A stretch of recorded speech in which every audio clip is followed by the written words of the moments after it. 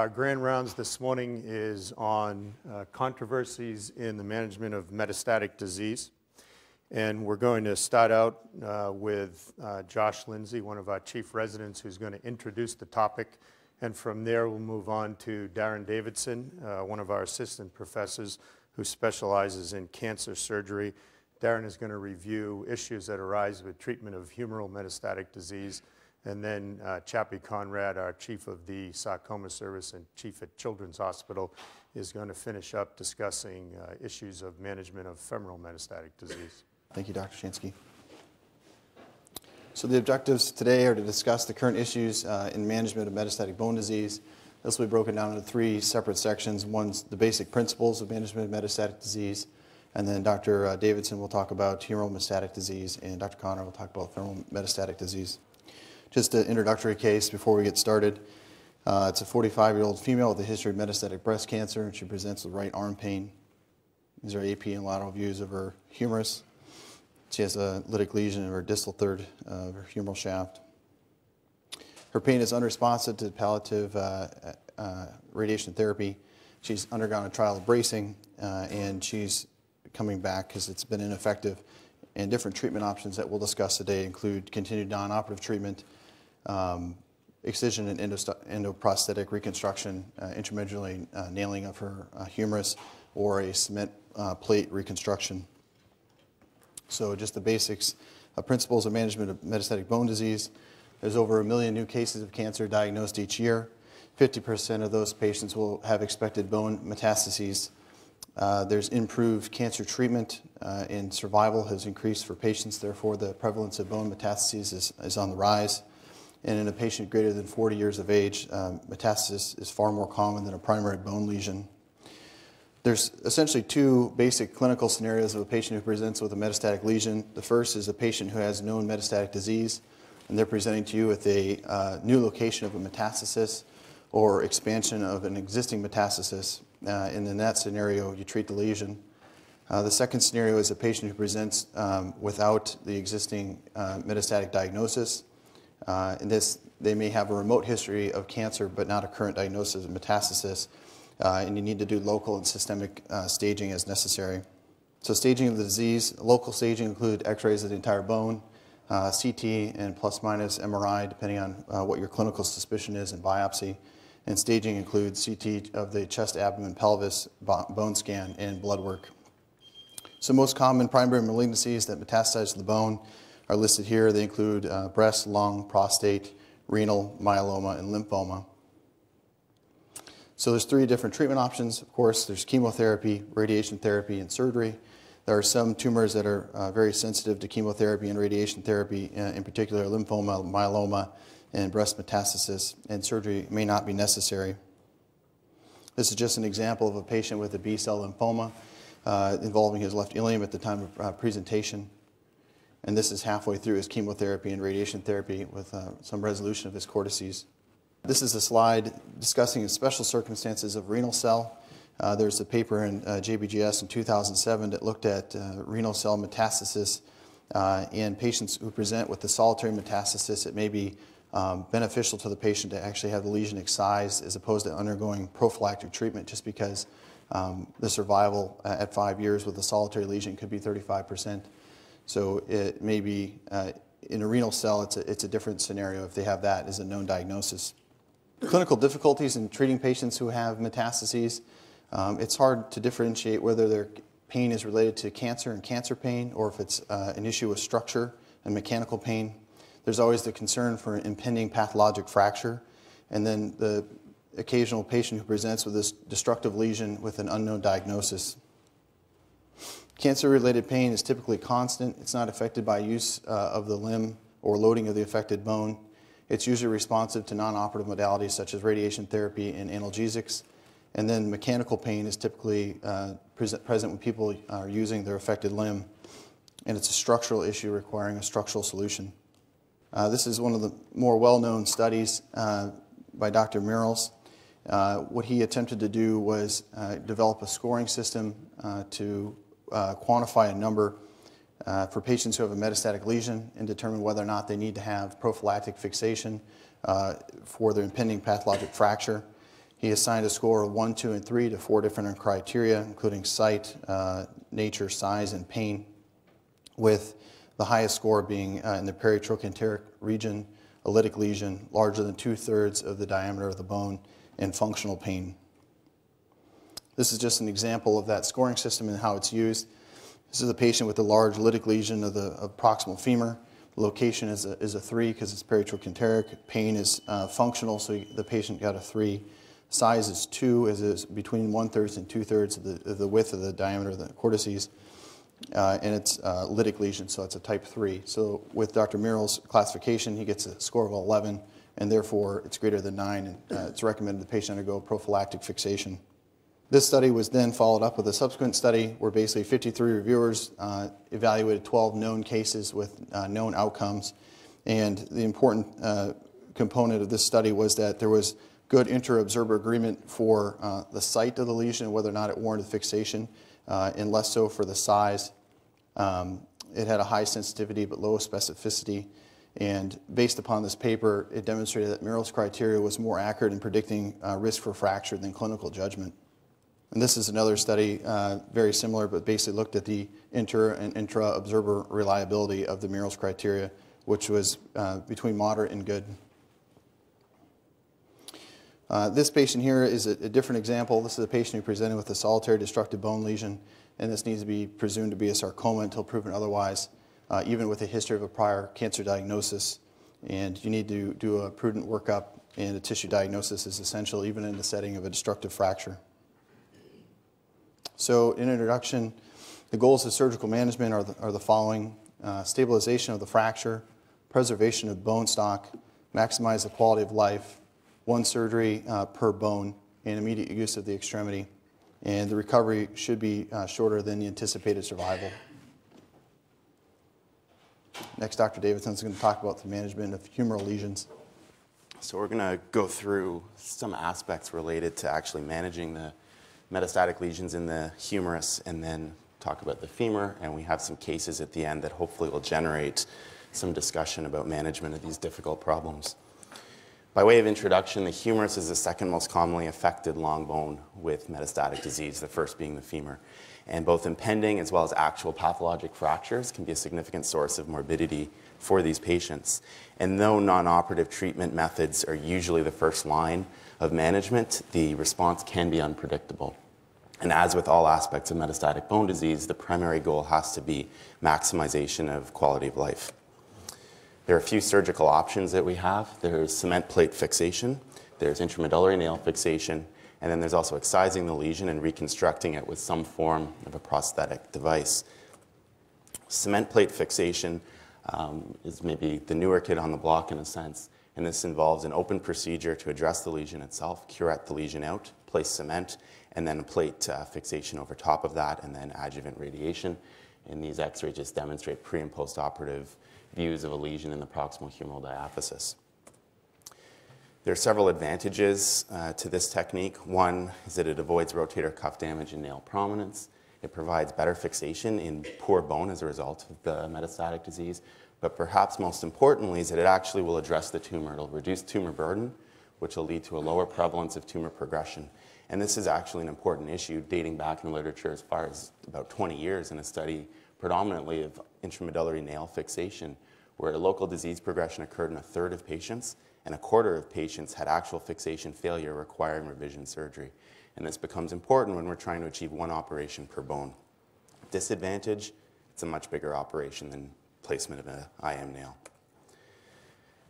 Leading into the next option, intramedullary nail fixation. So the standard ways it would be done for a traumatic fracture. This can be done either with or without placement of cement at the location of the metastasis, and then adjuvant radiation treatment for local control. Other option is actually excising the lesion, either if it's in the proximal humerus or the distal humerus, and doing a prosthetic reconstruction. The x-ray on the left shows uh, humeral hemiarthroplasty for management of a proximal humeral lesion, and then on the right, a bigger tumor type prosthesis for a distal humeral lesion. And these also, depending on the manner in which the excision is done, consideration for adjuvant radiation uh, can be given. So it'd be nice if we could compare the results of all of these different treatment options and come up with an evidence-based type of algorithm for decision making. Unfortunately, that's not the case. For the different modalities, we'll have small series typically of each, and it's very difficult to compare the results because the outcomes that are used in the studies are different. But almost more problematic is that different patient populations are used, and I'll outline this going through some studies. And this particularly relates to the patient survival from their primary disease. So starting with cement plate fixation, a recent study, which is the largest of this particular technique, 63 patients, three quarters of them had an actual pathologic fracture. Comparing the complication rates to other series, which were predominantly of IM nail fixation, the rate is similar. At the time of most recent follow-up, which is just over six years post-operatively, patients seem to be doing pretty well. Almost 90% have minimal, if any, pain. Two-thirds have independent ADLs. And this survival curve shows a cumulative probability of death on the top curve and revision surgery on the lower curve. The lower curve is important. It shows there's not a whole lot of revisions done, so that's accomplishing our goal of one operation per bone. And then the curve on the top representing patient survival is what you'd expect given it's a population of metastatic bone disease. And in this study, it's important to note at six months, 61% survival, at one year, 42%. And that becomes important when we try to compare the results across studies, looking at what the patient overall survival was.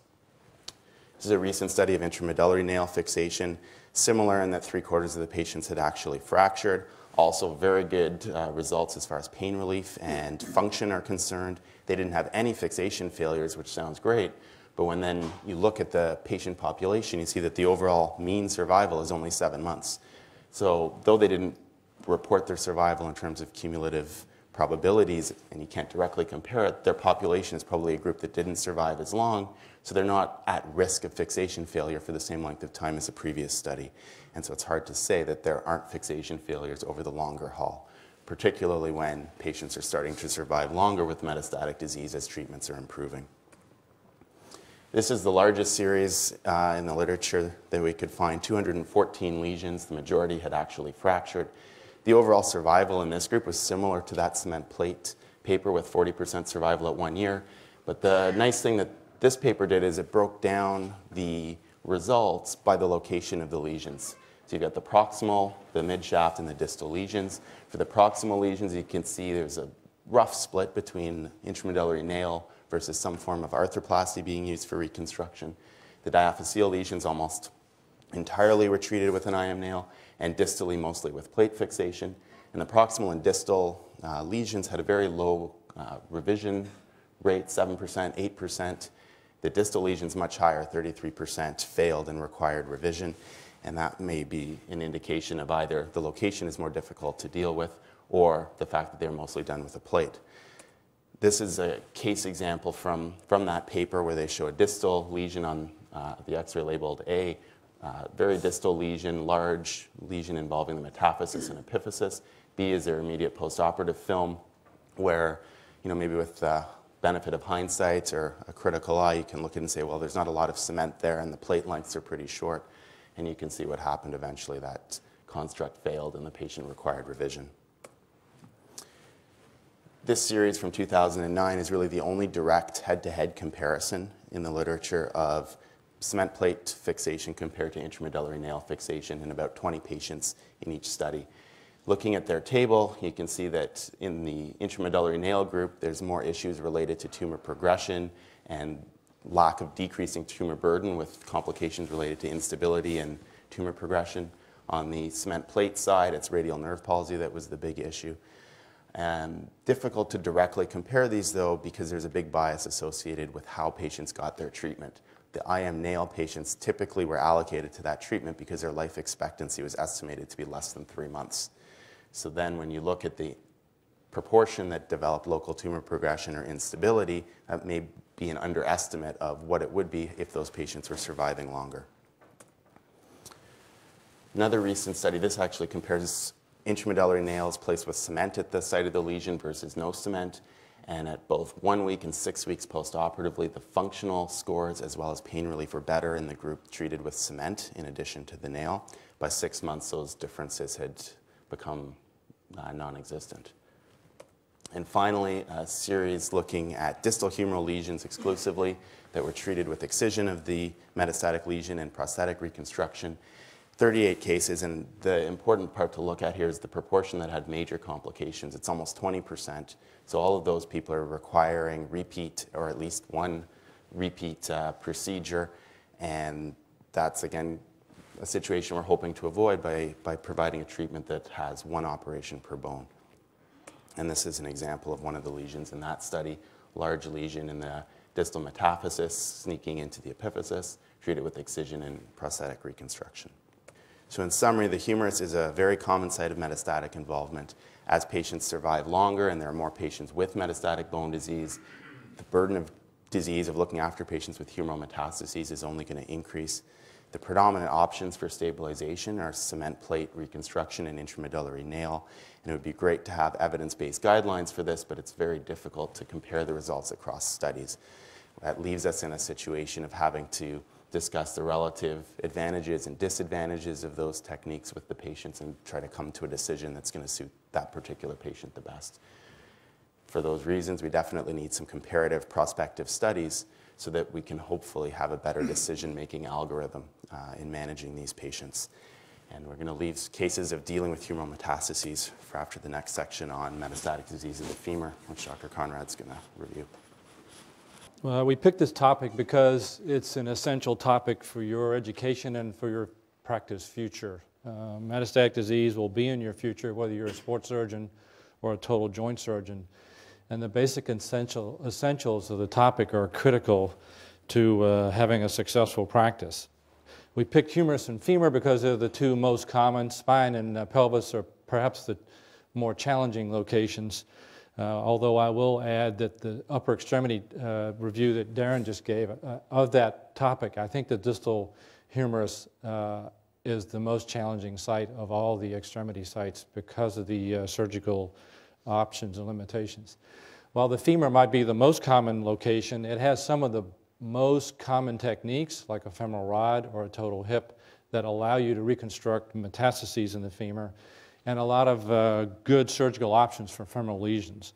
Again, the best way to approach femoral lesions is to approach them with the categorization of an anatomic proximal midshaft and, and distal femur. If we look at the proximal femur, those are lesions of the femoral neck versus lesions of the intertrochanteric level versus lesions involving the subtrochanteric area. Uh, certainly, uh, a hemiarthroplasty is the obvious option for fixation in a patient with metastatic adenocarcinoma or something similar involving the femoral neck, um, involving the intertrochanteric areas. And while the Mirels' categorization is a good way to approach that, I think a simple way to approach it is, is there a cortical defect? Is it at least a couple centimeters in size? Is it lytic? And is it painful? Are the basic indications for doing a procedure for most of these patients. The details of the diagnosis, the specific diagnosis, and the stage of the disease are critical determinants in making a decision about surgery for these patients. For the subtrochanteric area, uh, we begin again to get into femoral rod territory with proximal fixation with interlocking femoral rods that is very efficient at taking care of those lesions. If a tumor is larger, if it's larger than five centimeters, I think five centimeters is a good rule for either the proximal femur or the distal femur, because when you've uh, broached the five centimeter level, you've usually gotten into the subtrochanteric area from, if you measure from the greater trochanter. Those lesions that are larger, that have recurrent, that have failed radiation therapy, a particular renal cell cancer as a solitary metastasis is a good indication for resection up front for some of these patients and will in many cases avoid the need for radiation therapy, which is six weeks of treatment. And in a patient who's not doing that well, uh, avoiding six weeks of radiation therapy is an attractive alternative.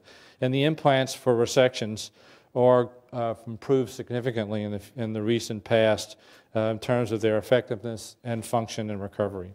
Proximal femoral implants, if you make the decision, are obviously not the most common way to reconstruct these uh, metastases, but if that does uh, serve as an indication, then we typically reattach the greater trochanteric fragment with a cable grip system, and we typically use a bipolar system to improve the stability of that implant instability of a proximal femur with dislocations of the hip has been one of the challenges in the past. A bipolar component can help, and, and a reattachment of the greater trochanter is an essential functional uh, element of that reconstruction.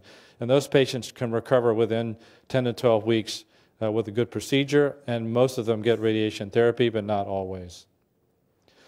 Here's an example of a 60-year-old man with left knee pain, was treated here, He was a smoker, had a questionable mass in both his lung and his kidney, had a proximal femoral lesion that uh, was MR'd, and a very reasonable uh, choice for putting an intratrochanteric device into that proximal femur with one essential mistake, which was the lack of a biopsy. The lack of a biopsy is a critical failure to touch first base and to make assumptions which will doom you to a serious scenario.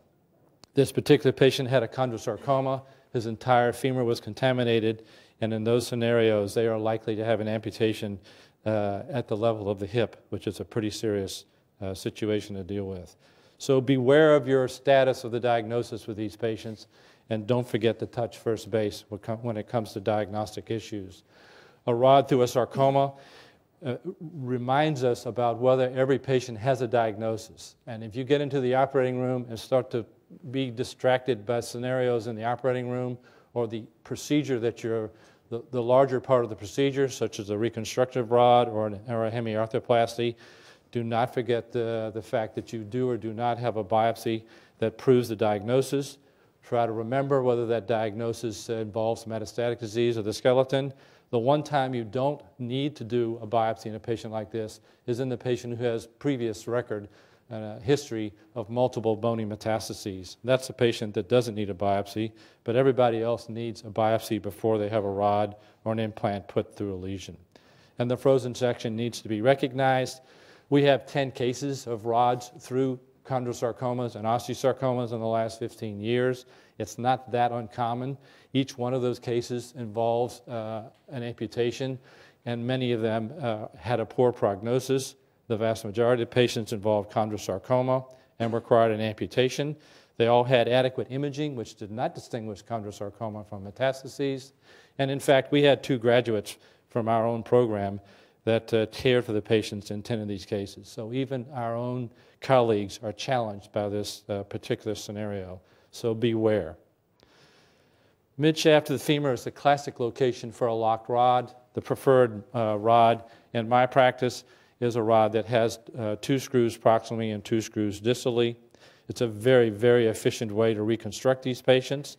There are some scenarios, if you look carefully uh, at uh, the x-ray on the right, you can see the cement mass is is uh, protuberant outside of the lesion, and a cement um, mass was used to fill a, a, defect in the midshaft of the femur, which shows a failure to take good x-rays before the case is completed. Uh, do not prefer a plate for midshaft lesions. A plate is a reasonable alternative for juxta-articular reconstructions of either the distal femur or the proximal femur. It is in many cases of the upper extremity a preferred uh, fixation, especially in the distal humerus. But as a general rule, the fixation provided by even a locking plate is not comparable to what you achieve with a well-placed interlocked rod. It has a longer OR time and a larger exposure involved. In the distal femur, we have the addition of the uh, retrograde rod in addition to an antegrade rod, which becomes an issue in the distal femur. Again, I would apply a five centimeter rule. Five centimeters from the notch is the indication for probably considering a retrograde uh, implant. If you take the example of this case on the left with a large metastatic lesion, perhaps you could consider, uh, here's the x-rays for that, a CT in the middle and an MR to, to the right of that. You could consider a plate for that particular uh, metastasis, except that this is also not a metastasis. It's another chondrosarcoma. If you forgot first base again, you're in the dugout for a while now. Retrograde rods are extremely valuable in reconstructing patients. Here's a 23 year old that I did a few weeks ago with a big lesion with a large soft tissue mass associated with it who's doing very poorly. And I thought perhaps a retrograde rod would be a smaller surgical procedure than an antegrade rod. A retrograde rod was used, and I was very impressed with her pain relief, which was almost immediate for even this difficult scenario. So, retrograde rods have been a huge uh, addition to the armamentarium of femoral reconstructions.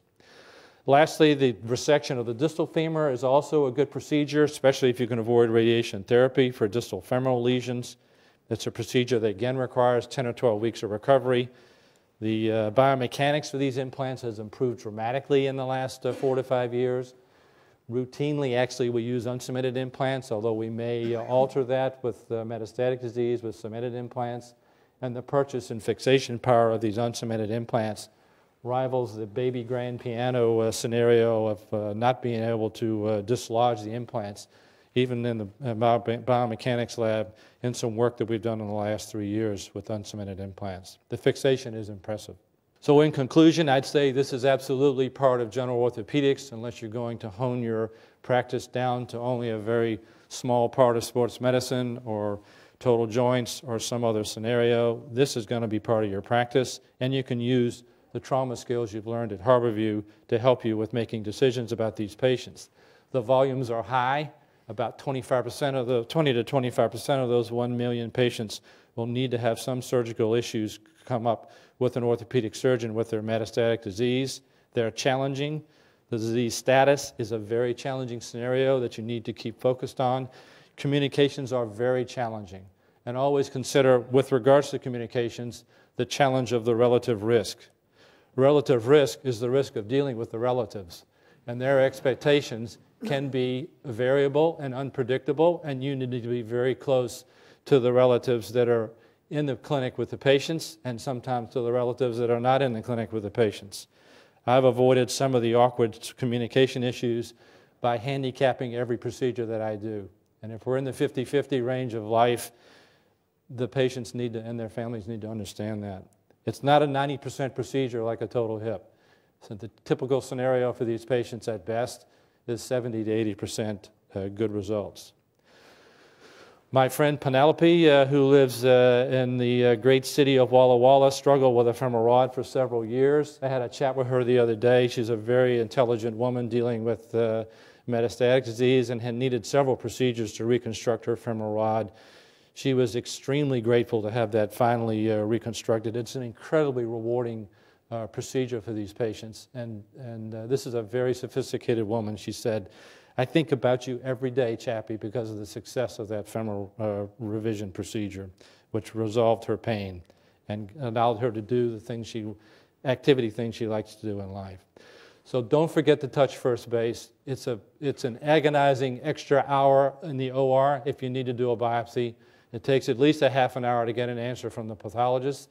Sometimes you don't get an answer at all, and sometimes the biopsy result is ignored. Be very careful about your diligence with regards to that issue.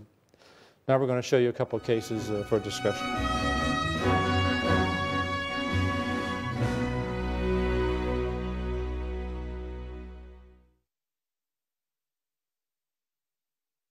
First one is the, the case that we started the presentation with.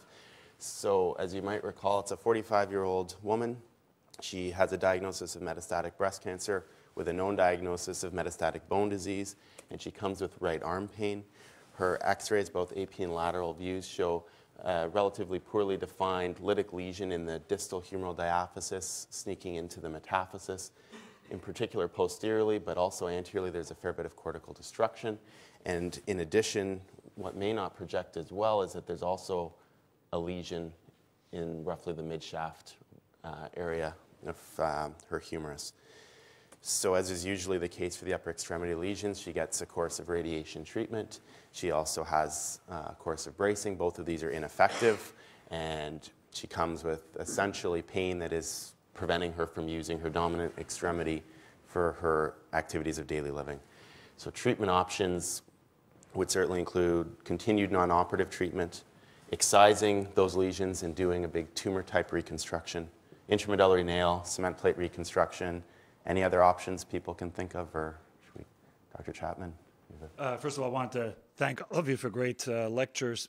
Uh, can you address the? Uh, I'm going to ask a question to you, uh, three, sure. maybe all three. the three of you can come up there. Um, uh, in the spine world, radiation and the timing of radiation to surgery is a very big decision making factor for us. So, can you three address the uh, timely and the quantity relation of radiation therapy and the type of surgery that you uh, will consider? Again, here that uh, radiation therapy was applied may very much mm-hmm. influence my decision making in surgery. Excellent question. And I think it depends a lot, as you alluded to, on, on the doses that they've used. So, for example, Um, when radiation is used for neoadjuvant treatment in soft tissue sarcoma, higher doses generally wait four to six weeks uh, before operating on those patients. In the metastatic setting, they're usually using lower doses. And so I don't think there is quite firm rules as far as how long to wait between the end of radiation and surgery.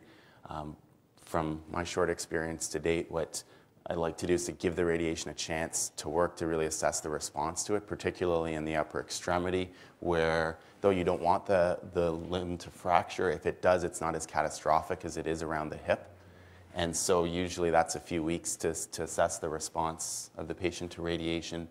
And I think by that time, any issues related to skin or other soft tissues and operating through those are by and large not a major consideration as far as being able to proceed with um, whatever surgical option you choose.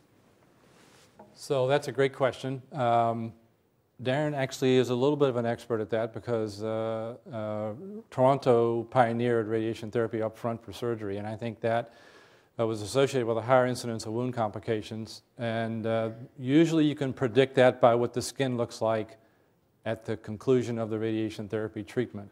If the skin looks really bad and it had a big epidermolysis burn and it needed to recover a long time, then you need to delay your procedure. Uh, uh, if they don't have a big uh, significant burn associated near the end of the radiation therapy, then the surgery can happen within two to four weeks at the conclusion of the radiation therapy. If it's conventional radiation therapy, that's not an unusual scenario. Um, the routine for us is usually a wait of about three to four weeks. Uh, and we, are, we will delay that if we're concerned about what the skin looks like. And higher particle radiation therapy is a very difficult and cautious uh, timeout scenario. So that would be with um, protons or with neutrons. Be very, very careful about operating on patients who have had higher energy radiation therapy because uh, the complications in surgery with bleeding, et cetera, et cetera, are much more serious with that. But for con conventional radiation therapy, it's a matter of what the skin looks like and how the wound's going to heal and we can address that uh, by how the patient did during the course of therapy and what they look like uh, several weeks after. The first case, we can do kind of a, a vote system for treating uh, that lesion. So just to review the x-rays, have a destructive lytic lesion in the distal humeral diaphysis sneaking into the metaphysis, as well as another smaller lesion, not affecting the cortex, but definitely present in the midshaft region and this is a patient with an established diagnosis of metastatic bone disease. So any option or any votes for continued non-operative treatment? No? No takers? Okay. Uh, how about excision in a tumor type prosthetic reconstruction? Takers? Okay. So we've got one choice for that. Intramedullary nail fixation. Got a few more choices. And then cement plate reconstruction. Okay, so that's the majority. So that's good. Any questions about the options or you know relative advantages, disadvantages to any of those? Radial nerve function um, down the line after these procedures. Is there any comparative literature suggesting who comes out more functional for whatever lifespan they retain post-op? Right, but it's comparing the nail and the plate? Or any of the four that you would consider? Okay, I mean, mo most of the studies on this is predominantly intramedullary nail. And most of the studies don't demonstrate a very large issue with radial nerve uh, dysfunction postoperatively. Uh, there's a couple of studies of the cement plate fixation method, and the first study that I showed, that larger series of 60 odd patients, that's from Toronto, where it's a pretty established technique. They had very few radial nerve issues.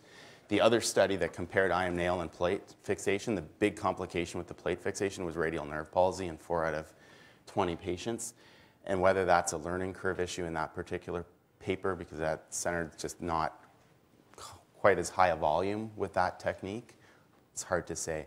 But there aren't any good functional comparative studies for any of these methods. Was that with cement as well? Because that can, yes. that's been shown to bake the nerve in some reconstructions.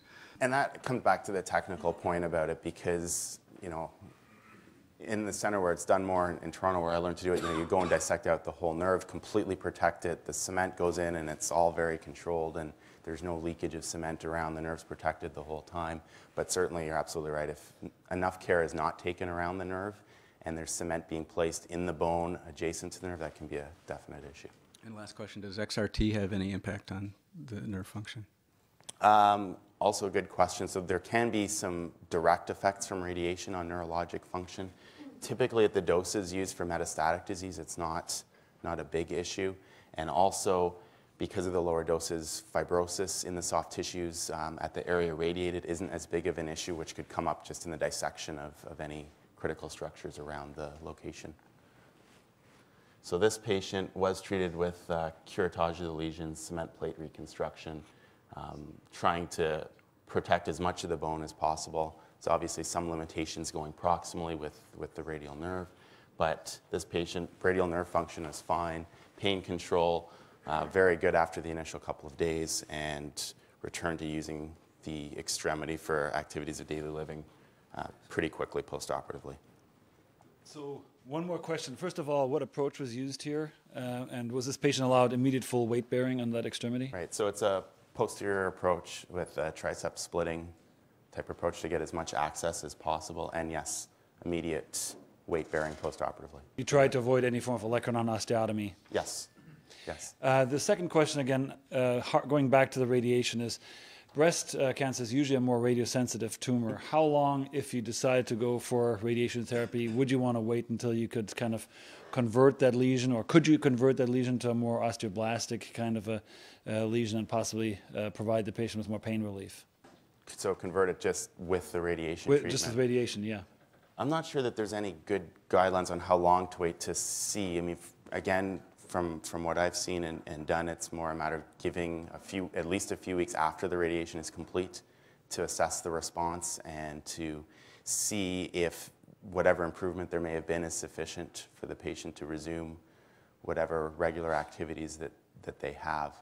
I don't know that converting it to more of an osteoblastic situation is going to push uh, the decision making one way or another between addressing it surgically or not. It would more be on a symptomatic basis. I just want to say again, uh, they've had radiation therapy. This distal segment of the humerus can be entirely uh, dead, necrotic, and uh, and getting it to heal in here is very difficult. I, this is a great plate, this condylar plate, because you can get it down on the condyles, and you've done this laterally but not medially. And uh, prior to these condylar plates, we use reconstruction plates. And getting this fixation down here distally is typical scenario for a middle-aged uh, woman with breast cancer. And they can have multiple, multiple failures, end up with a gross non-union that never heals, or with an extremity that's so painful that maybe even amputation becomes a consideration. So this is a very, very serious scenario if these reconstructions don't work the first time or two. When you're treating humeral metastases, I think often they end up being myeloma, and, and there's even a predilection for a renal cell to metastasize there. So, uh, what role does preoperative embolization have for you? And when you're doing these open versus uh, intermedullary nailing, is there, uh, does the presence of one of these really vascular lesions uh, change what approach you use? For renal cell, um, there's essentially two scenarios. A patient with a late presenting isolated metastasis, which, as Josh was talking about earlier, is a situation you might consider excising the lesion and treating it almost as though it were a sarcoma because the survival can be better, or multiple bony mets or a single bone met with, with other visceral metastases. Those situations are palliative. Um, and in either circumstance, because of the vascular nature of renal cell metastases, I think that those should all get preoperative uh, angiographic embolization uh, before any surgical procedure, be it excision or, or um, cement plate, IM nail, closed, open, either way. For myeloma, typically what I've been taught to do and done is to embolize the pelvic lesions, but the extremity lesions to, to just go ahead and, and deal with those uh, surgically uh, without embolization. Um, I think one of the big keys to doing the cement plate reconstructions, or maybe the two big keys, is one is to curette, as, curette out as much of that tumor as possible. Because one of the issues that can certainly arise is that there's local disease progression which leads to further mechanical problems and failure. And as Dr. Conrad was alluding to, if these fail, it can be a really big, difficult problem to deal with. And the other is trying to get as much cement into that defect and e- even into some of the normal adjacent bone as possible, because that's also going to really increase the fixation strength that, that you have. So this patient's a 75-year-old with metastatic lung cancer, multiple bony metastases, has a lesion in the proximal humeral diaphysis, uh, proceeding into the metaphysis and even up into the epiphysis. It's a destructive lesion, cortical erosion, no response to radiation treatment. And because of the size and location, um, the choice for him was uh, excision and a prosthetic reconstruction. And then another case, and then we'll have more discussion for a femoral case. It's a 57 year old male with metastatic esophageal carcinoma. Um, only skeletal met is a lesion in the right humerus. It's treated with bracing for several months with no improvement. And these are his x rays. Pretty dire situation. Treatment choices continued non operative treatment, although that's failed over several months radiation treatment's probably not going to be effective in, in, restoring sufficient bone integrity. You could look at a prosthetic reconstruction, intramedullary nail, or a cement plate type of reconstruction. And as you're probably seeing what my bias is, uh, this guy got treated with re- cement reconstruction of his, of his humerus. So that should hopefully leave enough time to discuss a, a peritrochanteric lesion in a bit more detail. So this patient's a 75-year-old female previous renal, uh, renal cell cancer four or five years before she presents with right hip pain. Full workup shows there's no other um, metastatic lesions, either skeletal or visceral, and that's her x ray. This is actually the same x ray that, that Josh went through the Mirels' criteria on. So the score is 11, which is over the threshold for, for fixation. And so I think the choices for her would probably, most people would say, intramedullary nail placement, um, you could throw cement plate in there, but I think intramedullary nail would probably be the biggest choice for, for dealing with this lesion, or uh, excising it and doing a type of prosthetic reconstruction. Dr. Darin, I have a question again. Um, You've addressed the local uh, tumor disease severity. Can you address the systematic tumor burden a little bit? Is that something that uh, enters your decision making as you're weighing surgical options? Do you use a Karnofsky index or something like that to kind of help you in terms of looking at a more palliative rod fixation versus a larger uh, invasive open mm-hmm. procedure? Um, so excellent, excellent question and a very important consideration. And I don't think we have any really great skills to definitively do this with, with the different types of surgeries that are available. And so, as best we can do, we try to predict what their anticipated survival is, what the anticipated recovery from the surgery is, and propose a, a surgery that's going to have a rehab period less than the anticipated survival so that the patient will experience some benefit from whatever it is that we're doing. And so, the same lesion um, for example, a peritrochanteric lesion may be treated with an intramedullary nail for a patient with uh, anticipated short survival, and it may be treated in a different method for the same radiographic lesion, but in a patient with a longer survival. And I don't think there's really any great algorithms for deciding uh, between those choices. It's very much um, a discussion with the family and trying to sort out anticipated prognoses. Darin, what about the opposite scenario of a patient with this as an isolated lesion and their health is quite good? I mean, in terms of their cancer status, they're really doing quite well. And they say they have no pain at all, and they have a lesion with co- significant cortical um, compromise on it.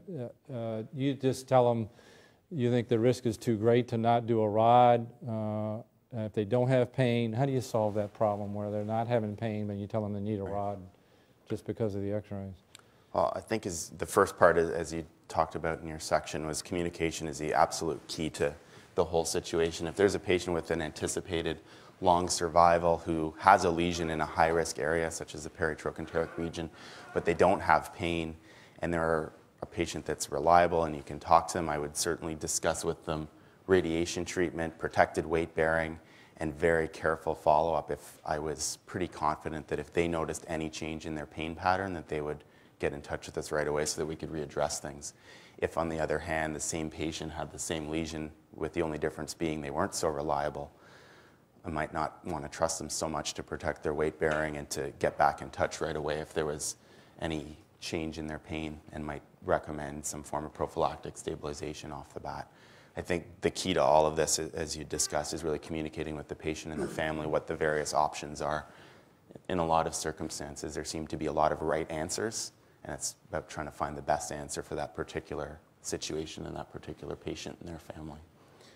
So this lesion, 75-year-old patient, isolated renal cell met. It's confirmed to be a renal cell met, so we don't have to worry about it being something else. It's their only lesion. They're four years out from, from their primary renal cancer, which was treated with a nephrectomy.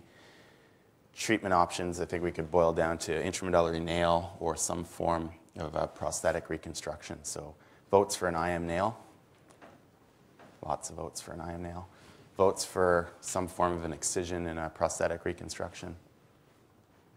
Okay? Um, maybe to ask some questions to everyone. For people doing an IM nail, any other adjuvant treatments that they'd put with it besides just putting in the nail? Can you excise the lesion concomitantly?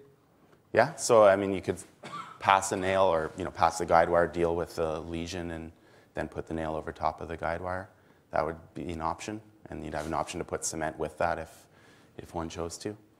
And then how about radiating that lesion, whether you place cement or not, after the fixation? Okay. So as this case unfolds, this patient um, had an intramedullary nail placed, no perioperative complications, felt much better afterwards, and then represented eight months later. Um, their renal cancer hadn't progressed all that much. There's no new um, detectable metastases. And the problem that has happened here is that the local lesion has continued to grow. There wasn't any adjuvant treatment um, for that lesion at the time, wasn't curetted out, no radiation. And over time, with weight bearing, as you can see, the nails failed, the lesion has increased and now fractured. Can you and your co-lecturers address the um, uh, various uh, survivals of uh, metastatic lesions in the long bones, especially in the metaphysis and diaphysis? It seems that I remember that when we did, uh, without any resection of the lesions, uh, reamings and then nail placements, a lot of these metastases can somehow heal. Um, obviously, in a renal cell cancer, as we saw here, the disease uh, progressed. So, are there some metastases which, due to the trauma of reaming and nailing, uh, somehow have an impetus to heal versus others that just uh, are not affected by surgical trauma? Right. I, I'm not sure that there's any lesions that, um, without any adjuvant treatment, we could rely on to heal. And so the adage that I've always been taught and tried to follow is that you know, the tumor that's there just wants to grow. And if it were to regress or heal, that would be an added, added bonus, but not to rely on that because it's not predictable enough to know. Um, the opposite situation with the renal cell carcinomas, I think, is true. So that's this situation. And though I don't think an intramedullary nail is at all an unreasonable choice, I think something has to be done locally at the site to try to prevent um, local progression.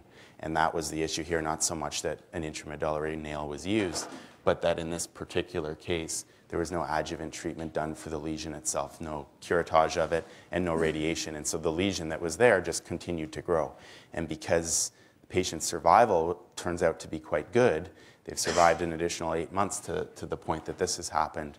The mechanical problems with that tumor progression have, have overwhelmed the nail's ability to withstand that. And there's been failure of it, which now requires revision. So there was So- no radiation therapy? No.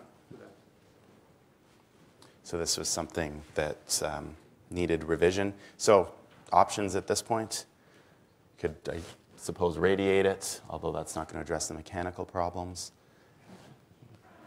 So what was done was the nail was removed and calcar replacing um, hemiarthroplasty stem was placed for that patient.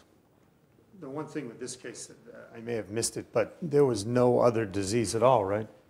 No, not at, not at the initial. Isolated renal cells. So I'm assuming initial. that, uh, that we at that didn't stage. treat this, is that right? that's right. No, this is a case from the Because you fellowship. could make a strong argument just for systemic control also to, to Yes. resect, resect that the first time. So going, going back to that study from JBJS from about five years ago, in this scenario of a late presenting isolated renal cell met, the survival can be expected to be upwards of 30, 35%. And so the discussion with the patient, the family certainly could be along the lines of a much bigger operation up front to resect the lesion and, and treat it with a bigger reconstruction, not so much for a cure per se, but kind of a much more definitive local control option. So we have, our philosophy has clearly migrated in the last five or 10 years for renal cells. The number one indication for a resection would be an isolated renal cell, apropos to your comments. So I think we would discuss, the problem with this is subtrochanteric, so it's a little bit bigger resection, but it's still a straightforward resection. And as a general rule now, we would probably do a resection for that and not do the rod because renal cell loves to recur. It's very radio resistant. The survival, as Jens asked, survival is a big issue. And all the, although the survival for renal cell in the studies is not much beyond 20 to 30 months, I have a lot of patients with isolated bony mets with renal cell who have clearly survived four or five years. So it's a good operation for an isolated, it's the number one indication for resection for an isolated bony metastasis. Another question that Jens asked, which is a really good question, is how do you evaluate disease, sort of decisions about disease, good disease versus bad disease? Uh, there's three really bad survival diseases, mean survival, that is lung, myeloma, and melanoma, um, and then breast, prostate, and the others are intermediate. And we assess patients for their health for a procedure uh, as an orthopedic oncologist, generally by staging their lung with a CT. If they don't have significant lung metastasis, it's not going to impede their uh, respiration issues uh, perioperatively. That's an indication for doing the procedure. If their survival is greater than three months, we will clearly do a rod procedure. Uh, res resection is more controversial because it takes almost three months to recover from a resection. And we always make sure they have adequate platelets and blood counts with regards to bone marrow involvement. And we are a little bit attuned to hypercalcemia because it's so incredibly subtle and related sometimes with renal cell and myeloma and some of the other tumors. So those are the systemic issues we go through for making a decision about a particular patient with a particular diagnosis. I have one more very controversial question. If you have a patient with a more anticipated long-term survival, and you really want to have bone healing. Has bone morphogenic protein had any role in your literature? That is it's controversial. uh, yeah, just to bring that up, uh, is there anything published on that, and what would be the anticipated uh, ill effects of placing BMP into this uh, kind of a tumor environment? Right. I mean, I don't. I don't know of any literature on it specifically in metastatic disease. The concern, of course, is is any um, tumorigenesis potential of placing BMP in a site that's already got um, malignant disease.